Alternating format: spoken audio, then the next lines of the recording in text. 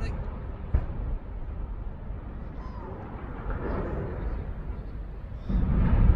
think my car was parked under there.